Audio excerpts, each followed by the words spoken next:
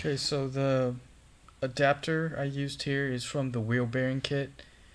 And so it's just small enough that I can just hammer it on the edges and in the center. And that pops the bearing out.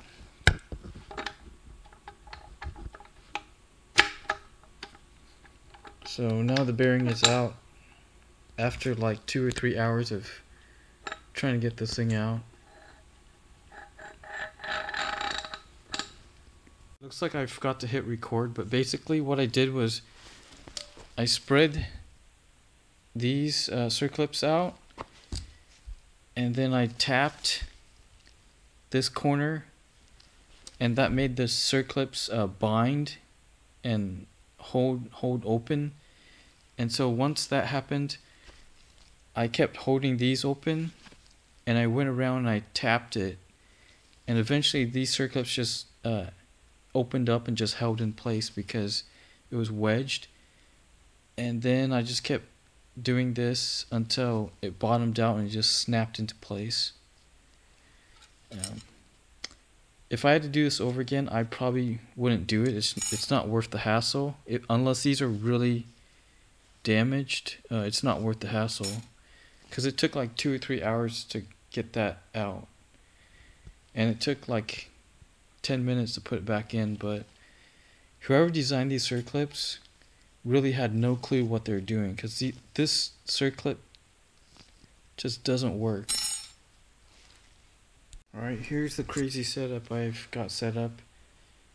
Um, two screwdrivers. I actually needed these flatheads, but it's kind of too late.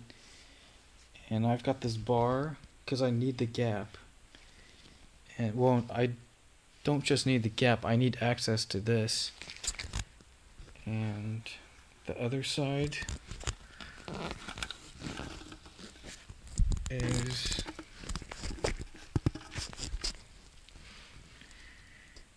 it's basically that um, that adapter so that I can push the bearing through and it's it's smaller than the bearing but it's pushing on the outer race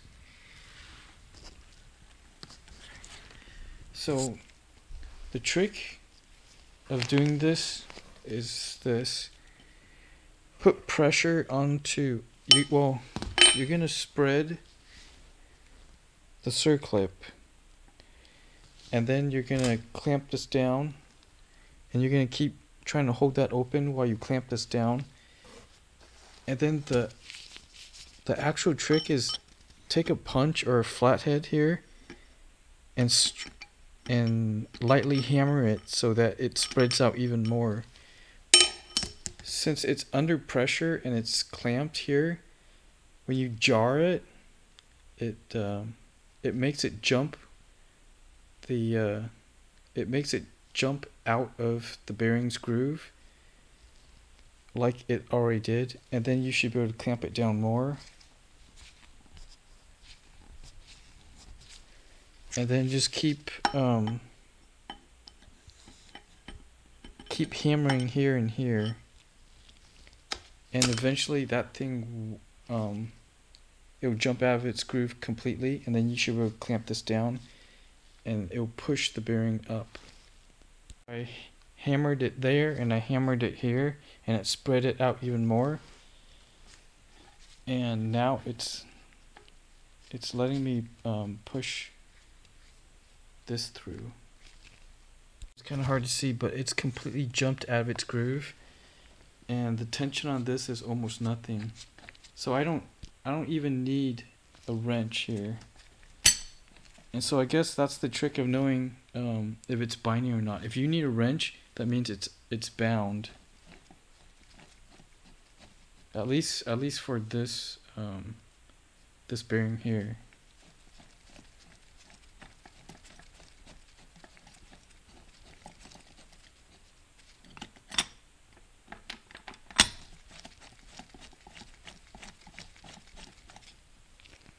I think it's actually it's spinning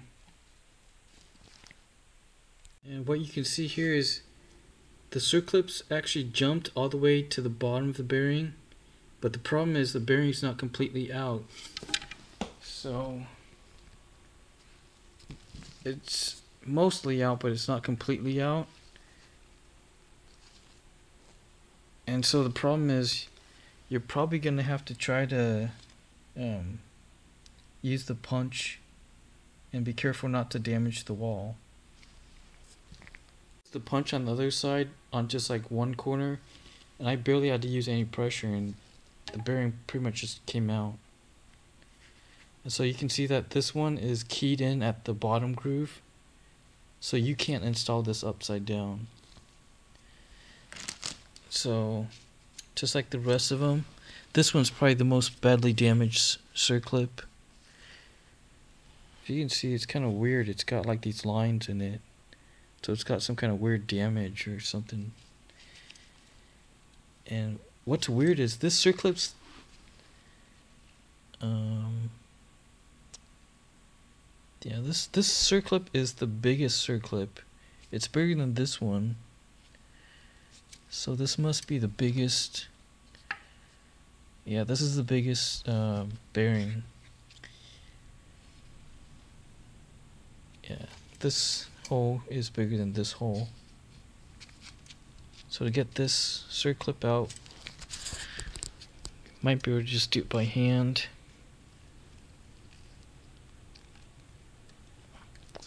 Actually, it's probably smarter to do it from the other direction.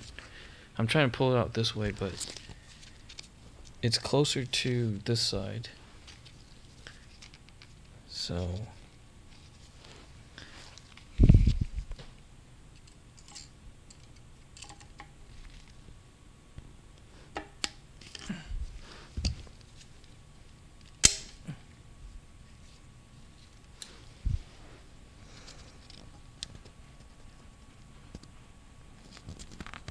Yeah, this one's this one's gonna be hard to get out. Like the best way is actually to go out this way because it's got the groove, it's got the cutout here.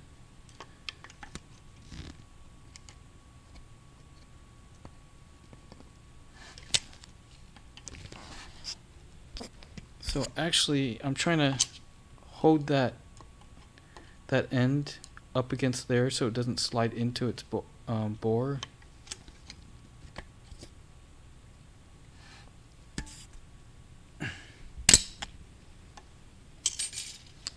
Yeah, it's a lot easier that way.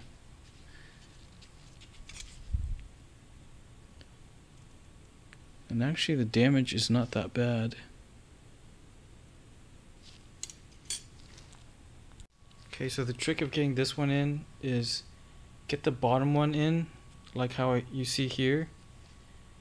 Because once it's in there, you push it into its groove and that gives it more room over here. And then you can push this in and down and it just snaps into place.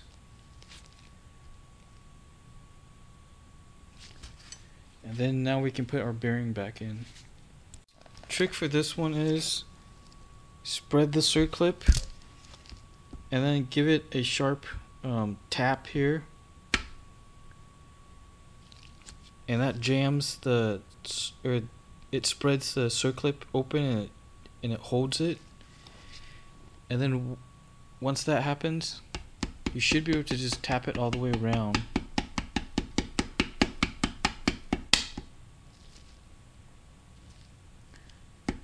And it should just fall into place. And the circlip uh, closed itself. So that should mean that it went back in its groove. Alright, these instructions aren't uh, super specific. I made a phone call to um, Superior and one of the R&D guys helped me with this. Basically, this is serv uh, reverse servo body. So on the servo body, there's two um, CPC valves that you replace, along with the end plug that has an O-ring on it and their new black spring. So that O-ring goes at the end and the little um, pin um, sticks outwards. And this one, also not very clear, this is actually the top accumulator. It sits, it bolts on top of the servo body. So this is actually cap valve C. It's that's what it's listed as uh, in the repair manual. So here's the top accumulator. And the valve that we're we have to replace is this one right here. It's the longer valve. So here's a shorter valve. I've already taken it out. Basically all you do is um, you take out the clip take out the end plug. This faced outwards and this is the original valve. And the spring was inside of it and this was sticking outwards towards the end plug. And I noticed that this actually is it's pretty scratched up. So what I did was um, I'm not reusing this but I'm gonna keep it. I polished the valve with the bench buddy just a little bit because I don't really I don't need the whole bigger I've already tested the new valve and it it's fine so polished it a tiny bit, um, sprayed with brake clean cleaner. Make sure you don't get the brake cleaner on any of the O-rings because it'll expand it and that's not good for it. Or, or at least um, it's going to take a while for it to shrink. I don't know if it damages them or not. So these all three are the same.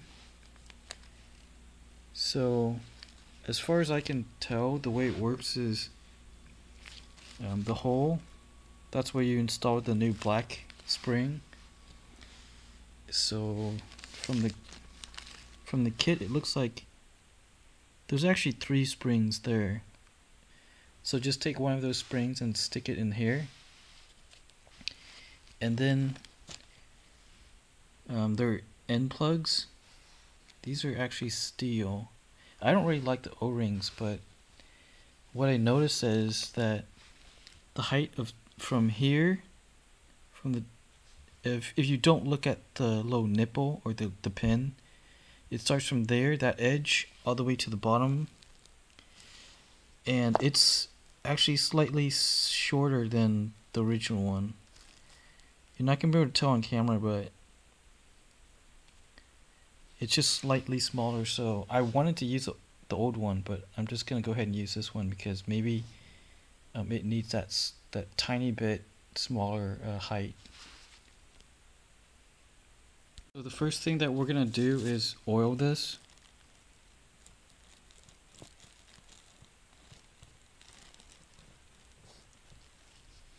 And the end plug too.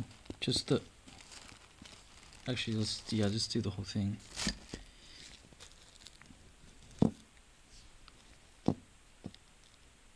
Okay. So,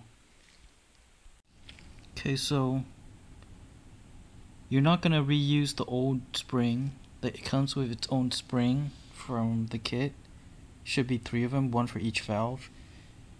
Put it in the bottom. And then we're gonna drop this into its bore. So like I said, it's not this one. It's the one that's towards the end. And it's actually better if okay I'm just gonna I'll just show you but it's better to hold this upside down so the spring um, doesn't just fall in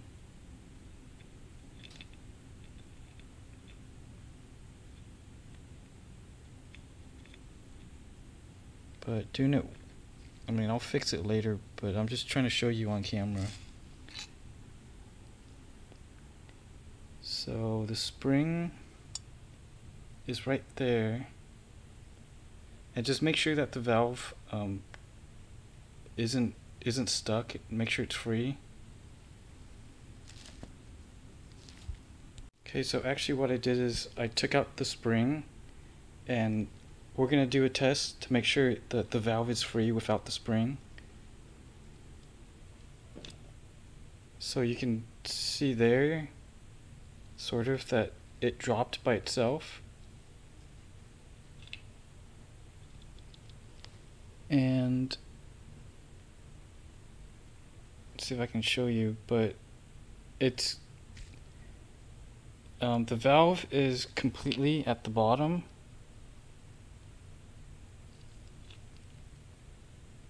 So it's dropping free and it doesn't even need to come out this much because that's that's not how much motion it has. But you can hear that it's bo bottoming out. So it's free and we're going to put the spring back in.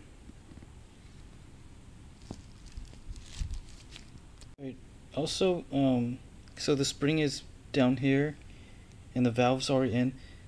I wish I could show you, but the camera's not picking it up. Basically right here.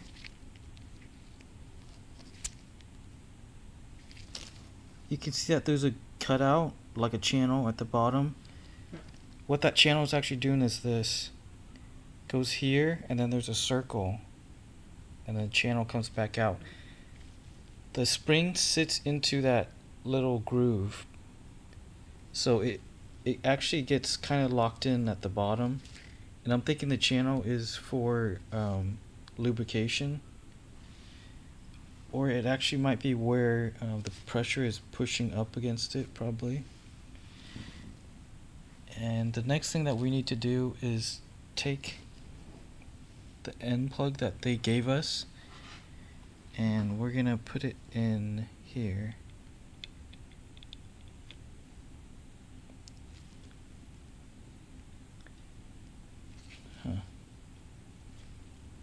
Pretty tight fit with the O-ring.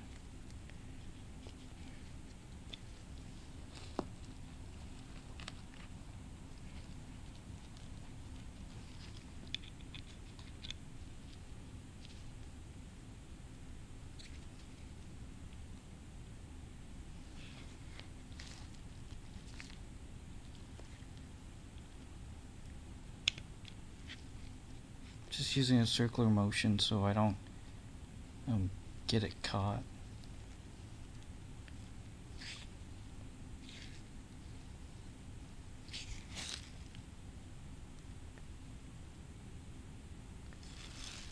I think I gotta push down on it a little bit more.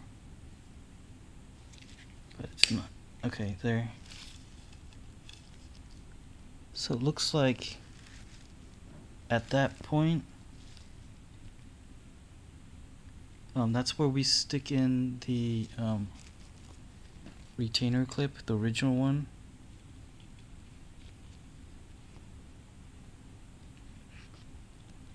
this is actually kind of nice that they they give us this because now you've got you can get pliers or whatever and and you can destroy this and it doesn't matter that much. Uh, you can probably put a magnet on that too. So there's the retaining clip and like always what you want to do is get something in there um, like a pick or something and push it out this way. Because the end plug always has to sit furthest out this way. Right so I'm thinking that's um, the proper way to do it. It looks like it's roughly flush with the casing here. Right this is the type of um, retainer that I haven't showed yet. It's just a flat bar. So basically it looks I don't even know okay um right here you can see there's a hole and I'm pushing on that hole this is a steel bar here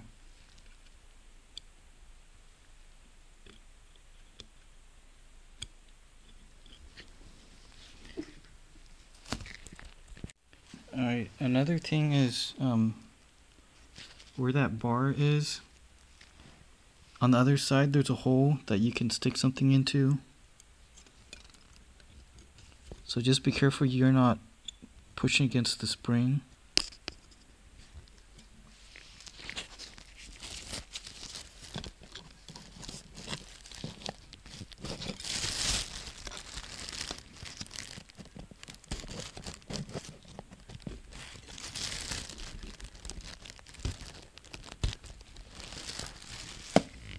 Okay, so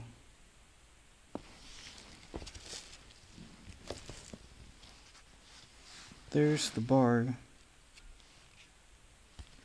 And stick your finger here because the spring is gonna shoot out.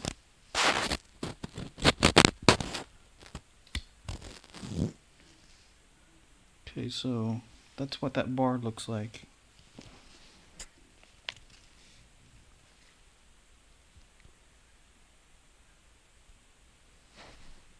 We're gonna check um, the valve. We're gonna take the spring out. And then see how much free play the valve has.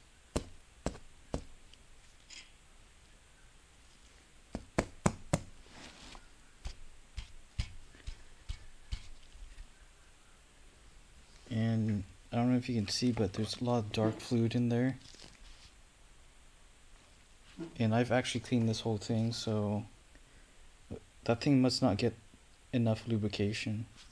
So I'll take this out and I'll clean everything and I'll try putting it back in, but I might have to polish that. Right, so actually the free play is pretty good. It was just getting stuck here and it doesn't need that much it only needs free play down here so I mean I'll try, try it again but basically it might just be really dirty right so I put oil in it and I put it back in and might not be able to show you here but um, it's not binding. And with the spring and fluid pressure, it should be fine. That sound was it bottoming out. It seems like it's stuck, but it's not. It's it's completely free.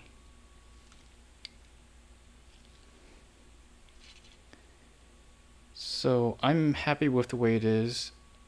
Um, I'll check the bore, see if there's anything scratched up, and if there is, then I'll polish a little bit. So I did polish it a slight bit, and now I'm okay with it. So the valve is in there. This goes inside the valve, and then we're just gonna put the plate back in, or the, re the retaining plate.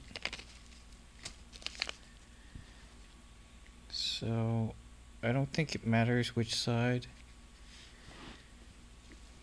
But it does need to go in this way and uh, one of the instructions in the repair manual say actually stick a flathead here to hold the spring down while you insert um, the plate in. So I didn't show it but I pushed the spring down with the flathead while I um, slid this in and then I kind of pushed the spring this way so that the plate can go in the rest of the way. And you can kind of see just a little bit of the spring there in the middle.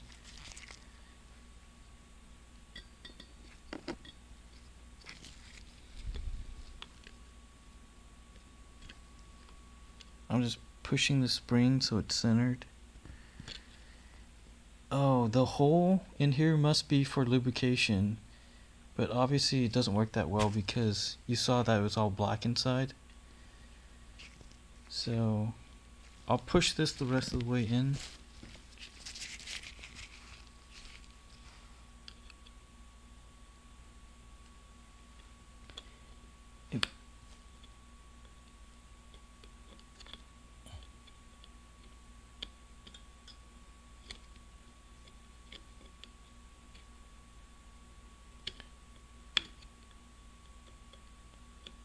It's kind of hard to do it on cameras with one hand, so look, I'm going to do that. Okay, so here's the servo body, and that's what it's talking about there. Just ignore the reverse part. Um, this plate, uh, the instructions do say to drill some holes somewhere, a few holes here, I haven't looked at the directions yet. But right now we don't actually need this.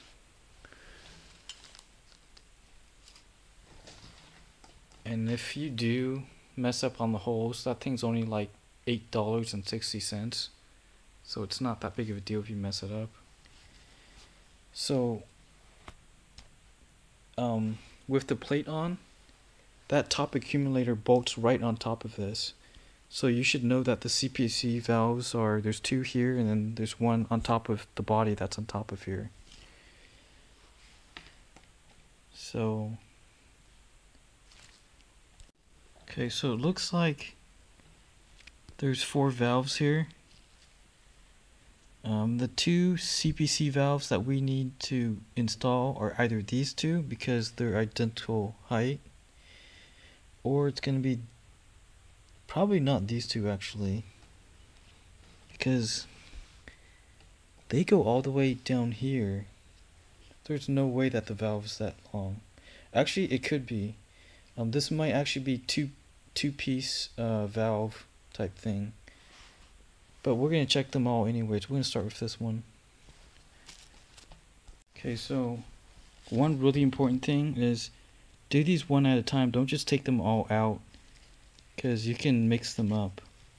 So I've taken out the retaining clip from right here.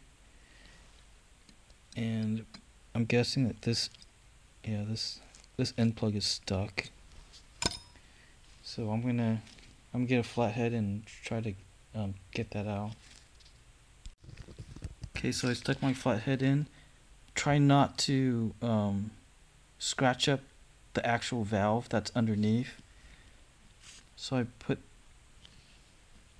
that in like that. And you probably can't even see the valve but the valve is the end of the valve is right there so I'm going to try to put my pick in and turn it this way to push out the end plug a little bit more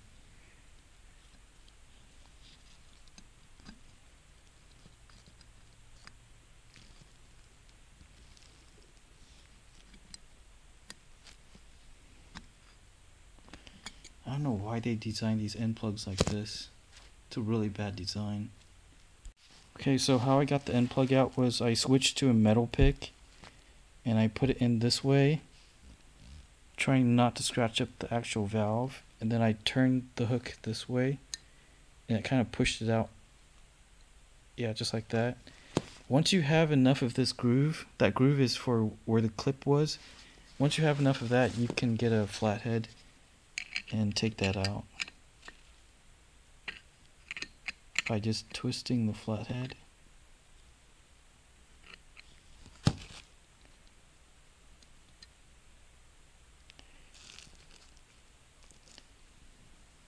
And I don't know why they even put that groove there. That doesn't really help that much. Alright, I know it's really hard to see, but this camera doesn't pick up shadows that well basically what I did was there's a little cutout in um, the valve and I had to just carefully um, push that through and then it actually opened up this back part here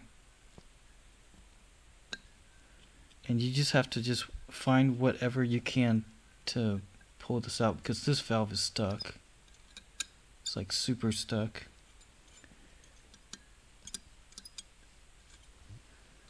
And then I might try to put a magnet on here.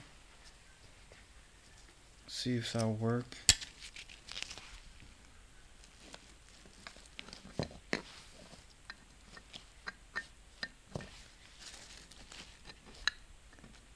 Looks like it's not um, close enough to the end yet.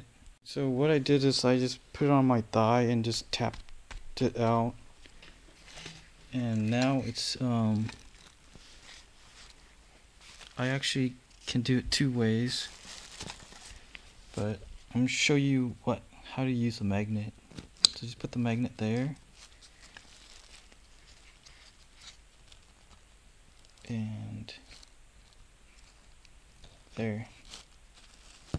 Because the valves are made of uh, probably stainless steel.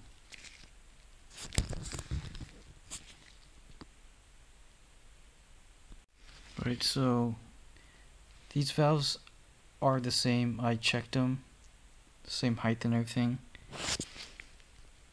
So what I was doing was um, using my brass pick Sometimes you may have to use steel because brass isn't that strong. And I was grabbing onto whatever edge I could to push it out, including these oil channels here. I was trying to not damage the spring, but actually I'm not reusing this, so um, yeah, just whatever you can to push it out. Alright, so I've got the new valve in there, and it does bottom out. Um, you should have heard that. It bottomed out.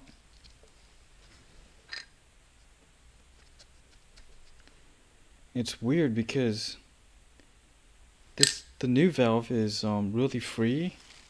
Actually, it seemed might actually be loose, and the old one was binding. So, not sure what that was about. So I figured out why the old one was binding. There's some. Um, you can't even see it on the camera actually. There's the tiniest bit of um, scratches here. Like right at the very edge the very edge of here there's tiny scratches. So what I'm gonna do is I'm gonna go ahead and polish that because there's probably more scratches in there. Alright so I'm gonna try to show you the right way of doing this spring is in it's the new valve and I've oiled the valve up and I've already polished this and sprayed it out with brake cleaner so spring goes in first, upside down so that the spring doesn't um, just fall in there.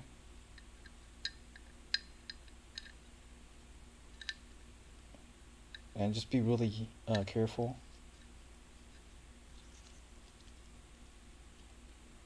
So the spring looks like it's bottomed out.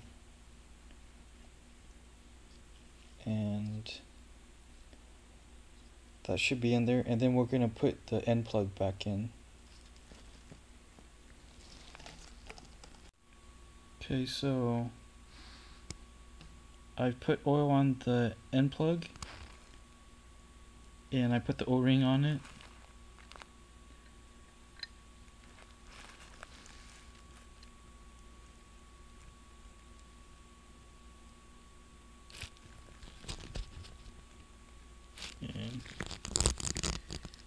At least the end plug's working. These things are a really tight fit.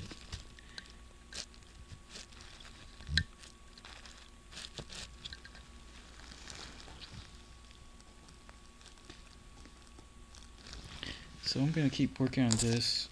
I need both hands to put that in because I might need to push that down. But this valve should be the same. I'm not going to show you that then. And these two um, are probably different, so I'll show you these two.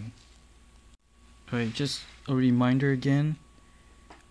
Um, once I put the end plug in, it sat down too far. So I got my pick and I pushed it back up. And I put my clip in, or put the clip in first, and then pushed it up against the clip. And so it should be about flush. It was sitting under flush, like way under, like an eighth of an inch under. So just make sure that your end plugs are always seated against um, the outside. So I took this valve out here. Um, these are the two CPC valves. I've done them already. This one was super stuck. I had to polish this for a long time. And yeah, just be careful. Check every valve. I I actually wasn't gonna check any of these valves, but I'm glad I did. Just make sure you check every valve on every body that you have. This is really light. It's it feels like plastic. So it had this long spring in it. And use your tubing cutter to cut a groove on here. Um, probably roughly probably just look at the case uh, the cat casing here you want the cut to be in the middle of this So you're gonna cut that groove with a tubing cutter and it's gonna help seal a little bit better because this one was a little bit loose. But I'm probably sure it's because of this spring. It probably caused it to vibrate and loosen up.